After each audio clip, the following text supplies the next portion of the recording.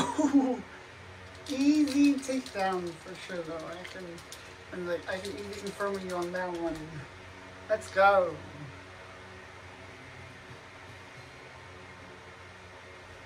Like, no, really.